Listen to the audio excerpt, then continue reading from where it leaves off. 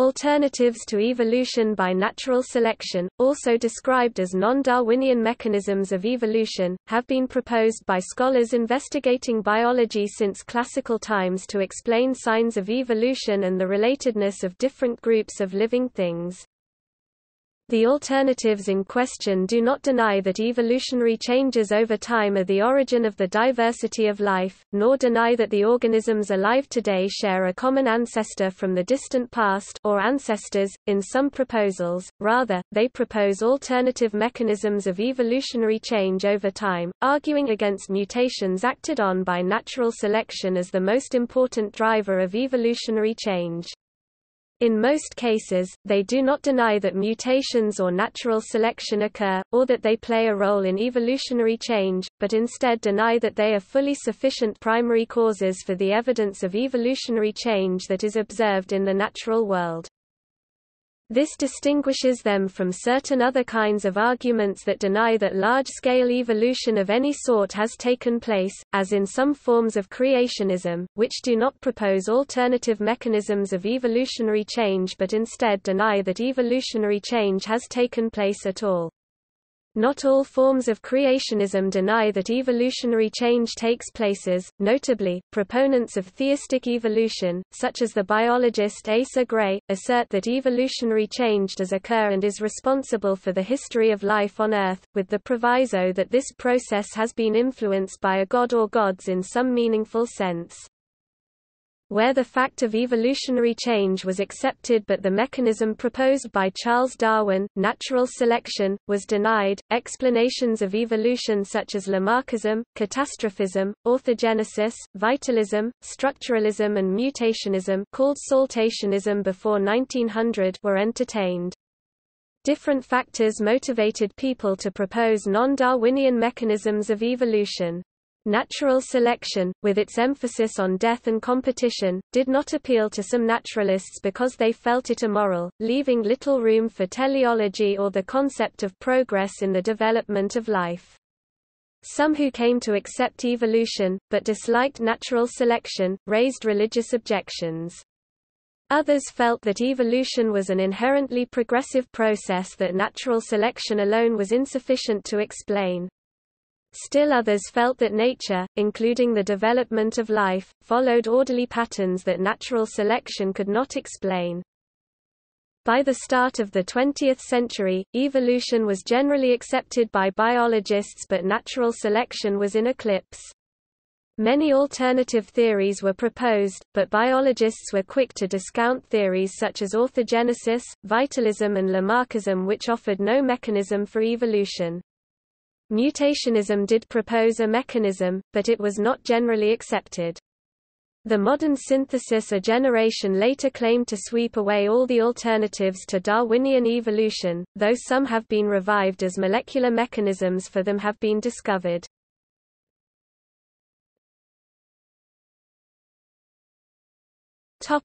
Unchanging forms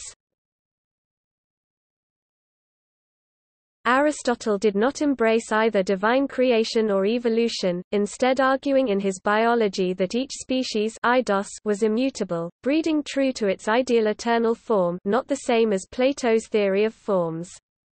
Aristotle's suggestion in De Generatione Animalium of a fixed hierarchy in nature, a scala naturae ladder of nature, provided an early explanation of the continuity of living things. Aristotle saw that animals were teleological functionally end-directed, and had parts that were homologous with those of other animals, but he did not connect these ideas into a concept of evolutionary progress. In the Middle Ages, scholasticism developed Aristotle's view into the idea of a great chain of being.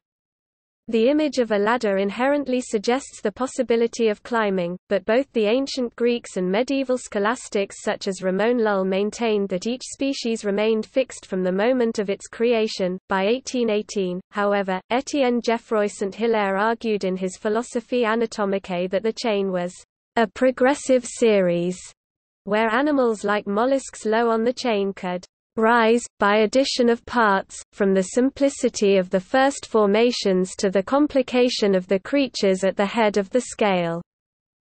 Given sufficient time, Accordingly, Geoffroy and later biologists looked for explanations of such evolutionary change. Georges Cuvier's 1812 Recherches sur les ossements fossiles set out his doctrine of the correlation of parts, namely that since an organism was a whole system, all its parts mutually corresponded, contributing to the function of the whole.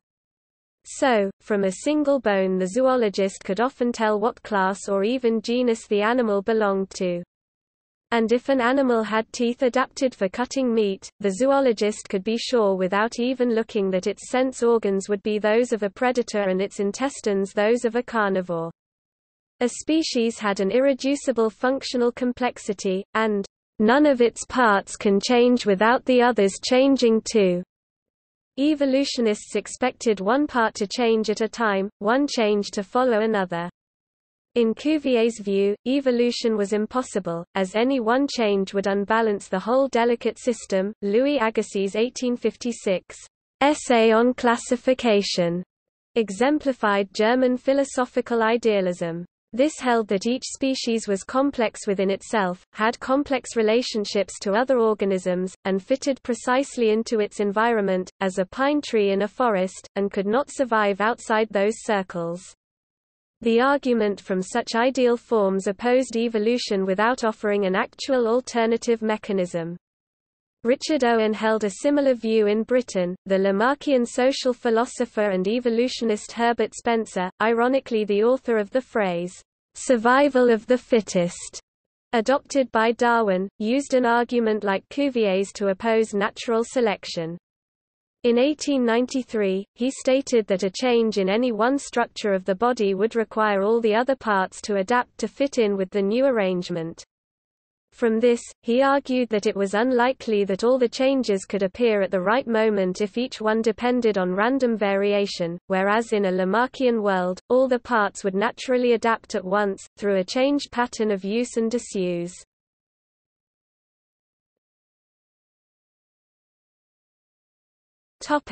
Alternative explanations of change. Where the fact of evolutionary change was accepted by biologists but natural selection was denied, including but not limited to the late 19th-century eclipse of Darwinism, alternative scientific explanations such as Lamarckism, orthogenesis, structuralism, catastrophism, vitalism and theistic evolution were entertained, not necessarily separately. Purely religious points of view such as young or old earth creationism or intelligent design are not considered here. Different factors motivated people to propose non-Darwinian evolutionary mechanisms. Natural selection, with its emphasis on death and competition, did not appeal to some naturalists because they felt it immoral, leaving little room for teleology or the concept of progress in the development of life. Some of these scientists and philosophers, like St. George Jackson Mivart and Charles Lyell, who came to accept evolution but disliked natural selection, raised religious objections. Others, such as the biologist and philosopher Herbert Spencer, the botanist George Henslow son of Darwin's mentor John Stevens Henslow, also a botanist, and the author Samuel Butler, felt that evolution was an inherently progressive process that natural selection alone was insufficient to explain. Still others, including the American paleontologists Edward Drinker Cope and Alpheus Hyatt, had an idealist perspective and felt that nature, including the development of life, followed orderly patterns that natural selection could not explain. Some felt that natural selection would be too slow, given the estimates of the age of the Earth and Sun 10 to 100 million years being made at the time by physicists such as Lord Kelvin, and some felt that natural selection could not work because at the time the models for inheritance involved blending of inherited characteristics, an objection raised by the engineer Fleming Jenkin in a review of Origin written shortly after its publication. Another factor at the end of the 19th century was the rise of a new faction of biologists, typified by geneticists like Hugo de Vries and Thomas Hunt Morgan, who wanted to recast biology as an experimental laboratory science. They distrusted the work of naturalists like Darwin and Alfred Russel Wallace, dependent on field observations of variation, adaptation, and biogeography, as being overly anecdotal. Instead they focused on topics like physiology and genetics that could be investigated with controlled experiments in the laboratory, and discounted less accessible phenomena like natural selection and adaptation to the environment.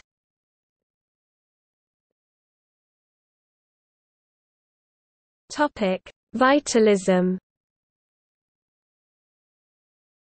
Vitalism holds that living organisms differ from other things in containing something non-physical, such as a fluid or vital spirit, that makes them live. The theory dates to ancient Egypt. Since early modern times, vitalism stood in contrast to the mechanistic explanation of biological systems started by Descartes. 19th-century chemists set out to disprove the claim that forming organic compounds required vitalist influence. In 1828, Friedrich Wöhler showed that urea could be made entirely from inorganic chemicals. Louis Pasteur believed that fermentation required whole organisms, which he supposed carried out chemical reactions found only in living things. The embryologist Hans Driesch, experimenting on sea urchin eggs, showed that separating the first two cells led to two complete but small blastulas, seemingly showing that cell division did not divide the egg into sub-mechanisms, but created more cells each with the vital capability to form a new organism. Vitalism faded out with the demonstration of more satisfactory mechanistic explanations of each of the functions of a living cell or organism. By 1931, biologists had almost unanimously abandoned vitalism as an acknowledged belief.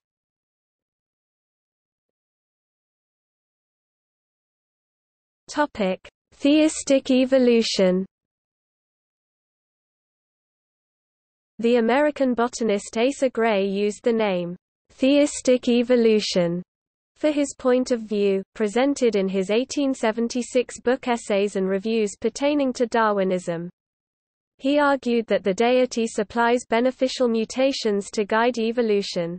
St. George Jackson Mivart argued instead in his 1871 On the Genesis of Species that the deity, equipped with foreknowledge, sets the direction of evolution by specifying the orthogenetic laws that govern it, and leaves species to evolve according to the conditions they experience as time goes by.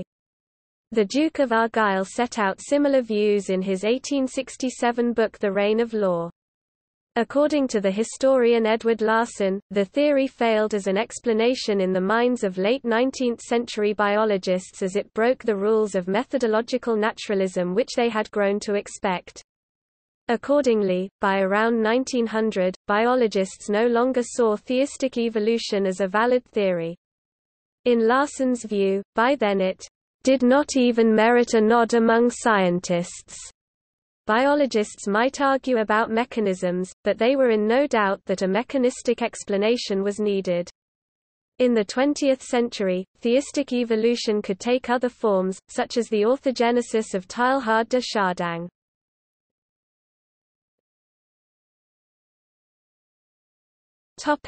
Orthogenesis Orthogenesis is the hypothesis that life has an innate tendency to change, developing in a unilinear fashion in a particular direction, or simply making some kind of definite progress. Many different versions have been proposed, some such as that of Teilhard de Chardin openly spiritual, others such as Theodor Eimer's apparently simply biological. These theories often combined orthogenesis with other supposed mechanisms. For example, Eimer believed in Lamarckian evolution, but felt that internal laws of growth determined which characteristics would be acquired and would guide the long-term direction of evolution. Orthogenesis was popular among paleontologists such as Henry Fairfield Osborn. They believed that the fossil record showed unidirectional change, but did not necessarily accept that the mechanism driving orthogenesis was teleological goal-directed. Osborn argued in his 1918 book Origin and Evolution of Life that trends in Titanotherae horns were both orthogenetic and non-adaptive, and could be detrimental to the organism. For instance, they supposed that the large antlers of the Irish elk had caused its extinction. Support for orthogenesis fell during the modern synthesis in the 1940s when it became apparent that it could not explain the complex branching patterns of evolution revealed by statistical analysis of the fossil record. Work in the 21st century has supported the mechanism and existence of mutation-biased adaptation a form of mutationism, meaning that constrained orthogenesis is now seen as possible. Moreover, the self-organizing processes involved in certain aspects of embryonic development often exhibit stereotypical morphological outcomes, suggesting that evolution will proceed in preferred directions once key molecular components are in place.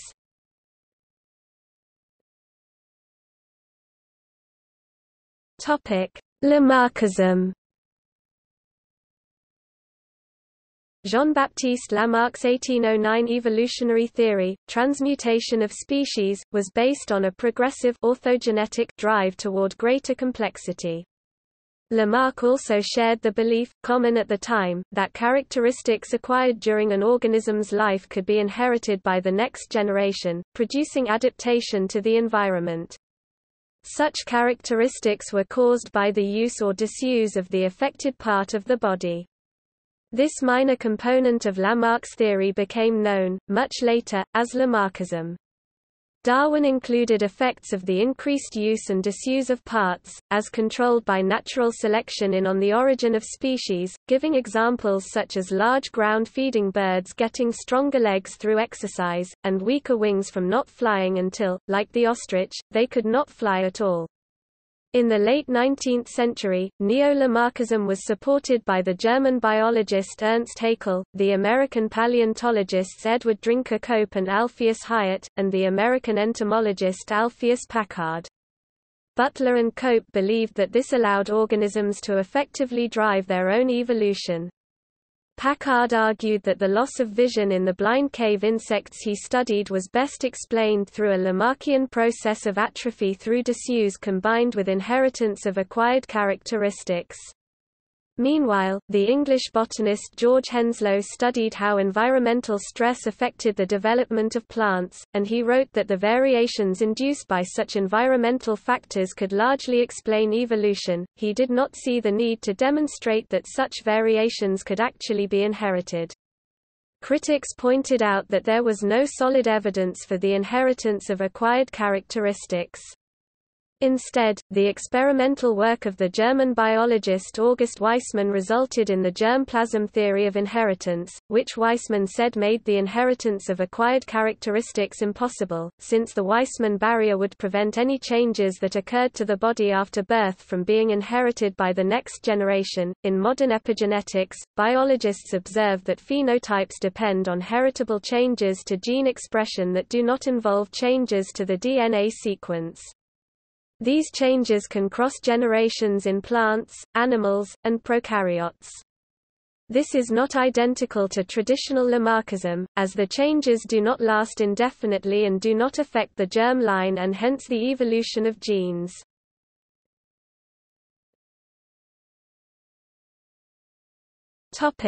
Catastrophism Catastrophism is the hypothesis, argued by the French anatomist and paleontologist Georges Cuvier in his 1812 Recherches sur les ossements fossiles de quadrupèdes, that the various extinctions and the patterns of faunal succession seen in the fossil record were caused by large-scale natural catastrophes such as volcanic eruptions and, for the most recent extinctions in Eurasia, the inundation of low-lying areas by the sea. This was explained purely by natural events, he did not mention Noah's flood, nor did he ever refer to divine creation as the mechanism for repopulation after an extinction event, though he did not support evolutionary theories such as those of his contemporaries Lamarck and Geoffroy St. Hilaire either. Cuvier believed that the stratigraphic record indicated that there had been several such catastrophes, recurring natural events, separated by long periods of stability during the history of life on Earth. This led him to believe the Earth was several million years old. Catastrophism has found a place in modern biology with the Cretaceous Paleogene extinction event at the end of the Cretaceous period, as proposed in a paper by Walter and Luis Alvarez in 1980. It argued that a 10 kilometers (6.2 miles) asteroid struck Earth 66 million years ago at the end of the Cretaceous period. The event, whatever it was, made about 70% of all species extinct, including the dinosaurs, leaving behind the Cretaceous-Paleogene boundary. In 1990, a 180 kilometers (110 miles) candidate crater marking the impact was identified at Chicxulub in the Yucatán Peninsula of Mexico.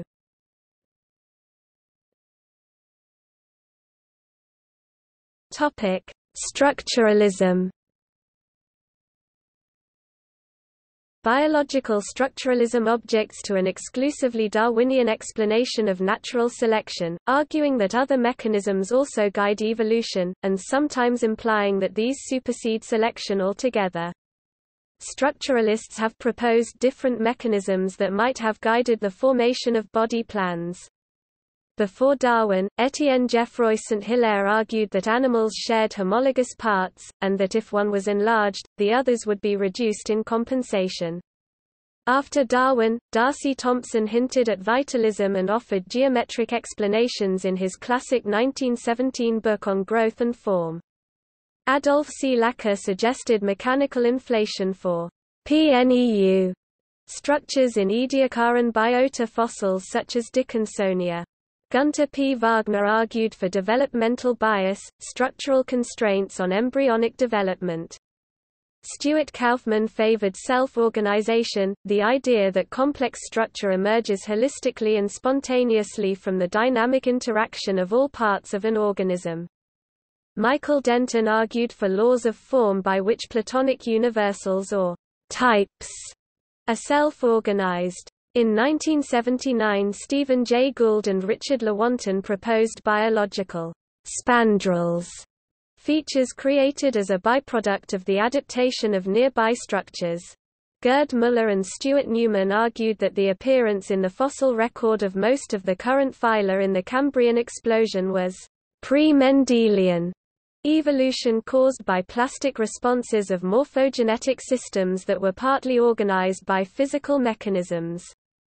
Brian Goodwin, described by Wagner as part of a fringe movement in evolutionary biology, denied that biological complexity can be reduced to natural selection, and argued that pattern formation is driven by morphogenetic fields.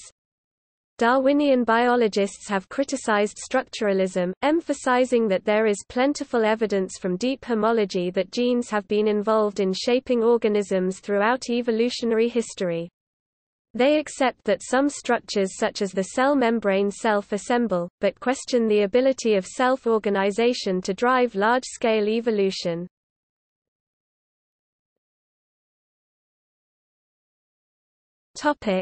Saltationism, mutationism. Saltationism held that new species arise as a result of large mutations. It was seen as a much faster alternative to the Darwinian concept of a gradual process of small random variations being acted on by natural selection. It was popular with early geneticists such as Hugo de Vries, who along with Carl Correns helped rediscover Gregor Mendel's laws of inheritance in 1900, William Bateson, a British zoologist who switched to genetics, and early in his career, Thomas Hunt Morgan. These ideas developed into mutationism, the mutation theory of evolution. This held that species went through periods of rapid mutation, possibly as a result of environmental stress, that could produce multiple mutations, and in some cases completely new species, in a single generation, based on de Vries's experiments with the evening primrose, Oenothera, from 1886. The primroses seem to be constantly producing new varieties with striking variations in form and color, some of which appeared to be new species because plants of the new generation could only be crossed with one another, not with their parents. However, Hermann Joseph Müller showed in 1918 that the new varieties de Vries had observed were the result of polyploid hybrids rather than rapid genetic mutation. Initially, de Vries and Morgan believed that mutations were so large as to create new forms such as subspecies or even species instantly. Morgan's 1910 fruit fly experiments, in which he isolated mutations for characteristics such as white eyes, changed his mind. He saw that mutations represented small Mendelian characteristics that would only spread through a population when they were beneficial, helped by natural selection. This represented the germ of the modern synthesis, and the beginning of the end for mutationism as an evolutionary force. Contemporary biologists accept that mutation and selection both play roles in evolution. The mainstream view is that while mutation supplies material for selection in the form of variation, all non random outcomes are caused by natural selection. Masatoshi Nei argues instead that the production of more efficient genotypes by mutation is fundamental for evolution, and that evolution is often mutation-limited. The endosymbiotic theory implies rare but major events of saltational evolution by symbiogenesis. Carl Woese and colleagues suggested that the absence of RNA signature continuum between domains of bacteria, archaea, and eukarya shows that these major lineages materialized via large saltations in cellular organization. Saltation at a variety of scales is agreed to be possible by mechanisms including polyploidy, which certainly can create new species of plant, gene duplication, lateral gene transfer, and transposable elements jumping genes.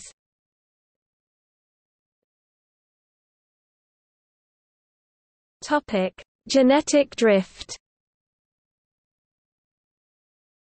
The neutral theory of molecular evolution, proposed by Motoo Kimura in 1968, holds that at the molecular level most evolutionary changes and most of the variation within and between species is not caused by natural selection but by genetic drift of mutant alleles that are neutral. A neutral mutation is one that does not affect an organism's ability to survive and reproduce. The neutral theory allows for the possibility that most mutations are deleterious, but holds that because these are rapidly purged by natural selection, they do not make significant contributions to variation within and between species at the molecular level. Mutations that are not deleterious are assumed to be mostly neutral rather than beneficial. The theory was controversial as it sounded like a challenge to Darwinian evolution. Controversy was intensified by a 1969 paper by Jack Lester King and Thomas H. Jukes, provocatively but misleadingly titled, Non-Darwinian Evolution. It provided a wide variety of evidence including protein sequence comparisons, studies of the Treffers mutator gene in E. coli, analysis of the genetic code, and comparative immunology, to argue that most protein evolution is due to neutral mutations and genetic drift. According to Kimura, the theory applies only for evolution at the molecular level, while phenotypic evolution is controlled by natural selection, so the neutral theory does not constitute a true alternative.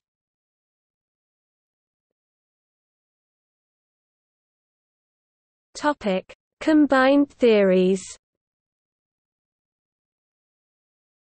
The various alternatives to Darwinian evolution by natural selection were not necessarily mutually exclusive. The evolutionary philosophy of the American paleontologist Edward Drinker Cope is a case in point. Cope, a religious man, began his career denying the possibility of evolution. In the 1860s, he accepted that evolution could occur, but, influenced by Agassiz, rejected natural selection. Cope accepted instead the theory of recapitulation of evolutionary history during the growth of the embryo, that ontogeny recapitulates phylogeny, which Agassiz believed showed a divine plan leading straight up to man, in a pattern revealed both in embryology and paleontology. Cope did not go so far, seeing that evolution created a branching tree of forms, as Darwin had suggested. Each evolutionary step was however non-random, the direction was determined in advance and had a regular pattern orthogenesis, and steps were not adaptive but part of a divine plan theistic evolution. This left unanswered the question of why each step should occur, and Cope switched his theory to accommodate functional adaptation for each change. Still rejecting natural selection as the cause of adaptation, Cope turned to Lamarckism to provide the force guiding evolution. Finally, Cope supposed that Lamarckian use and disuse operated by causing a vitalist growth force substance. bathmism to be concentrated in the areas of the body being most intensively used, in turn, it made these areas develop at the expense of the rest. Cope's complex set of beliefs thus assembled five evolutionary philosophies, recapitulationism, orthogenesis, theistic evolution, Lamarckism, and vitalism. Other paleontologists and field naturalists continued to hold beliefs combining orthogenesis and Lamarckism until the modern synthesis in the 1930s.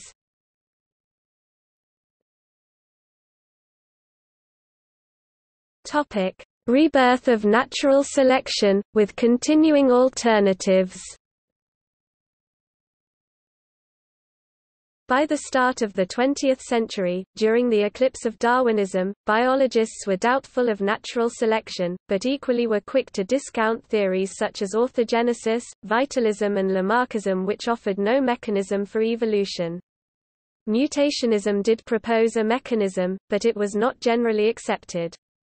The modern synthesis a generation later, roughly between 1918 and 1932, broadly swept away all the alternatives to Darwinism, though some including forms of orthogenesis, epigenetic mechanisms that resemble Lamarckian inheritance of acquired characteristics, catastrophism, structuralism, and mutationism have been revived, such as through the discovery of molecular mechanisms. Biology has become Darwinian, but belief in some form of progress orthogenesis remains remains both in the public mind and among biologists. Ruse argues that evolutionary biologists will probably continue to believe in progress for three reasons.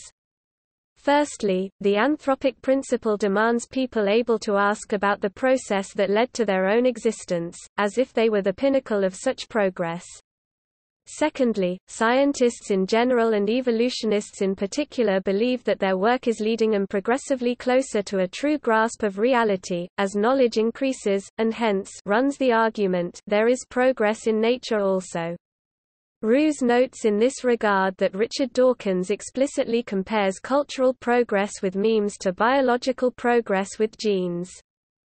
Thirdly, evolutionists are self-selected, they are people, such as the entomologist and sociobiologist E. O. Wilson, who are interested in progress to supply a meaning for life.